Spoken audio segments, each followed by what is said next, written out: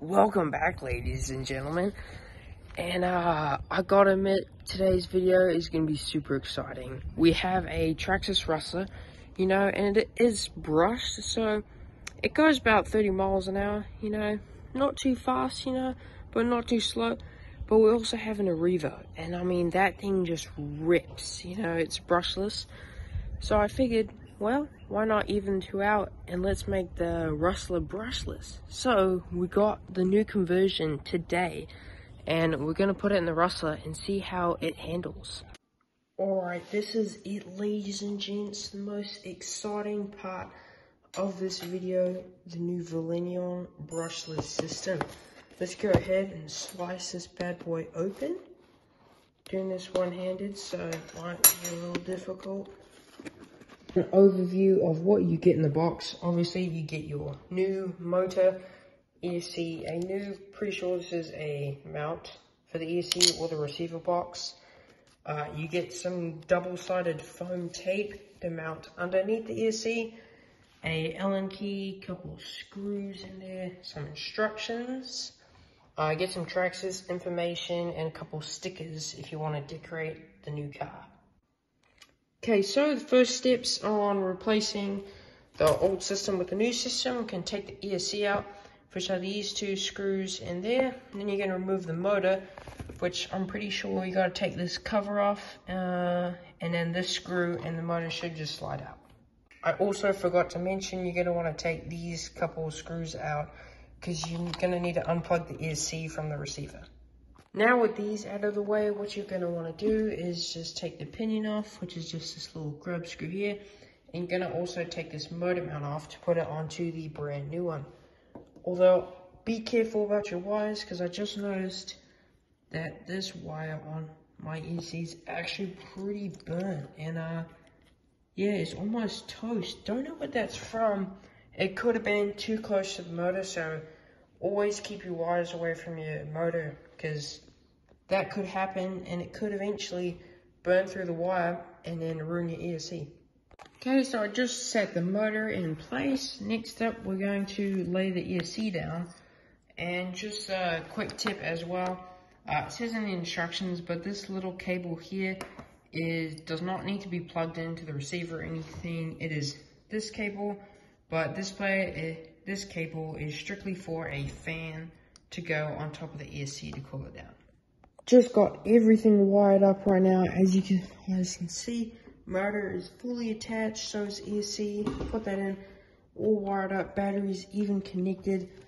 Remote is turned on, so I'm about to power this thing up for the very first time. I'm gonna do it with you guys. So, we're gonna hit this on button right here. Alright, I'm pretty sure it should be on right now. Let's give it a test with the steering wheel.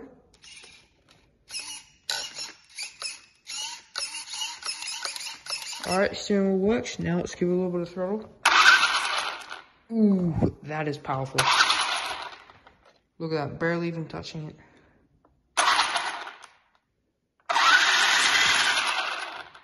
Alright, so this will be a launch at 100% throttle. Three, two, one.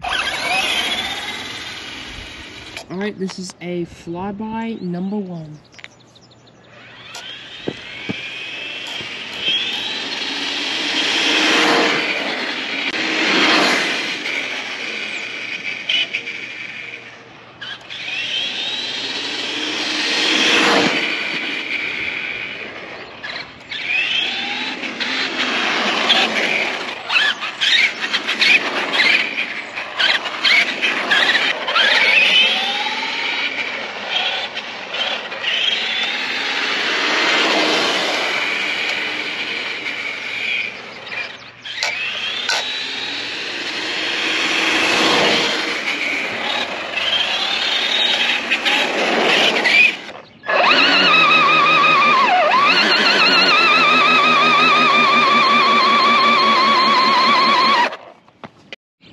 Alright, so next up we're going to be hitting some jumps and see how it, pretty much how it uh, flies through the air.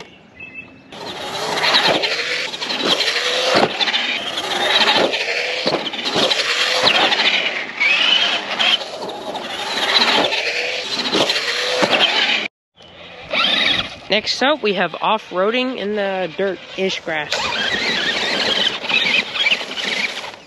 It's been recovered.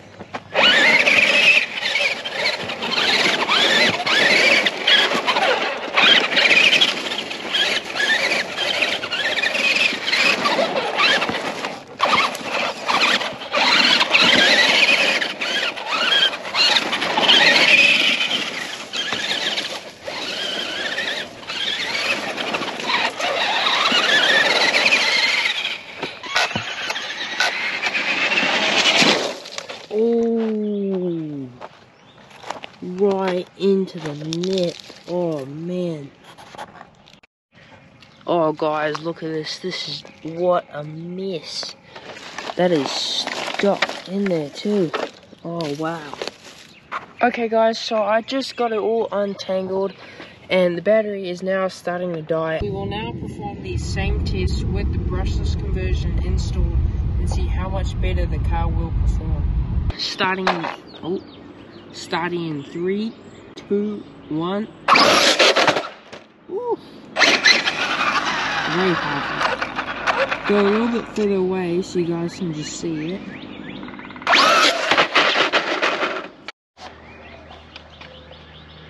Alright, this is going to be just a little bit of driving around now.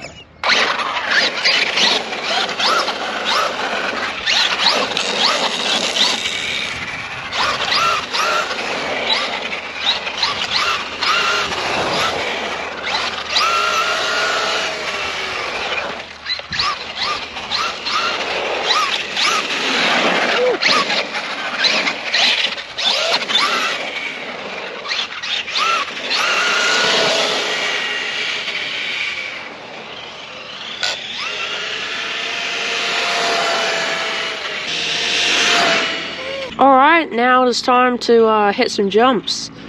I may or may not hit this flat out. It really depends how high this car will fly. Before in the previous test, I was hitting it flat out, but now the car is a lot faster, so I don't really want to push its limits just yet. But I will definitely do that in a different video, so stay tuned for that.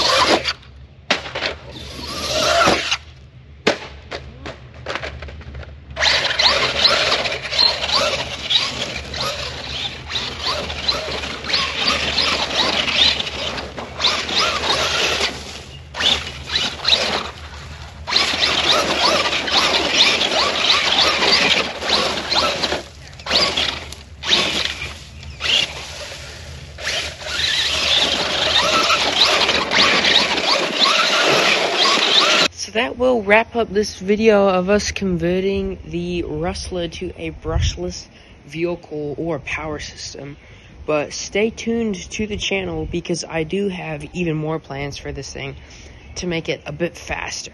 Just because I felt like it had a lot of power in the low end and it wheelied so easily.